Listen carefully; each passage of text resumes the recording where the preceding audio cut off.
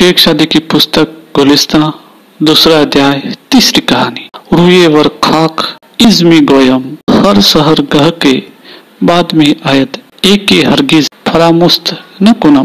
हैचत अज बंदा याद में आयत, यानी ईश्वर तेरा मुझे उस समय भी ध्यान रहता है, जिस समय ठंडी हवा के झोंके से और आदमी नींद का आनंद लेते हैं।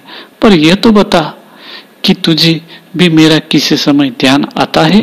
अब्दुल कादिर गिलानी मक्के के मंदिर के द्वार के सामने कंकड़ों पर सिर रखकर यह कह रहा था, हे परमेश्वर, मेरे गुनाह को माफ़ कर, लेकिन यदि तू मेरी सजा करे तो मुझे आकबत के समय अंधा करके उठा लेना कि जिससे पुण्यात्मा लोगों के सामने मुझे शर्मिंदा न होना पड़े।